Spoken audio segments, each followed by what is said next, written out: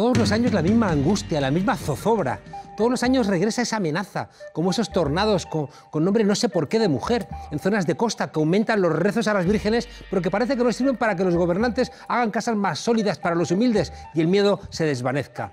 Todos los años vuelve esta maldita selectividad. ¿Por qué el sistema educativo en España sigue estando al servicio de una lógica sádica que cree que la letra con sangre entra? Ese examen de mierda que atemoriza a decenas de miles de jóvenes que se juegan su futuro a una carta. Está pensado desde una institución medieval, aquella que decía que los aprendices que querían pasar en su gremio a la condición de artesanos tenían que recibir esa noche anterior una paliza.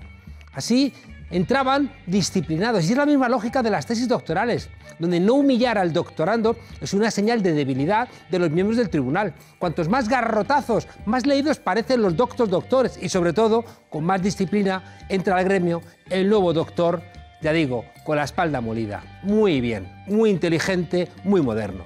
La selectividad solo sirve para dos cosas, para atemorizar a los estudiantes y para darle a los padres el poder sobre el futuro de sus hijos. Todos los años se repite la injusticia, además, de que en algunos lugares los exámenes son muy, difíciles y en otros un regalito. Todos los años las sospechas entre si lo público y lo privado no generan desigualdades también a la hora de prepararte o a la hora de examinarte. Todos los años una pesadilla a la que sometemos a nuestros jóvenes que entran en la vida universitaria con miedo y disciplinados. Y luego, claro, son los padres los que martirizan a los hijos que si la nota por aquí, que si la carrera que tienes que estudiar por allá, que si el aprendizaje que debes acometer para graduarte en una carrera que a menudo le interesa más a los padres que a los propios hijos, en fin.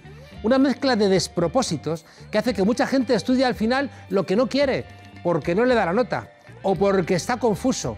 Otros pierden un par de años mientras se dan cuenta de que lo elegido no les hace feliz.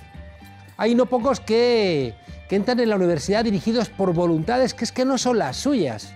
Qué fácil sería que terminado el bachillerato y antes de entrar en la universidad, los estudiantes tuvieran una lista con los 20 libros que deben haber leído para entrar a la carrera que hayan elegido. Sobre esos 20 libros, cada facultad examinaría a los estudiantes y ahí podría hacerse una nota media entre ese examen, que es el realmente importante, y la nota media de los estudios. Así, por ejemplo, se hace en Alemania y cada uno entraría en la carrera que le motivara. No se lo jugaría todo a una prueba con preguntas arbitrarias sobre cosas que no le interesan o que no son interesantes, como ocurre en la maldita selectividad.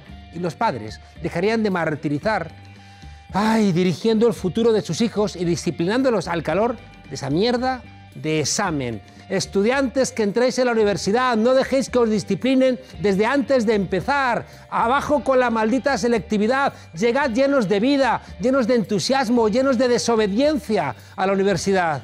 Y también, bienvenidos a la frontera.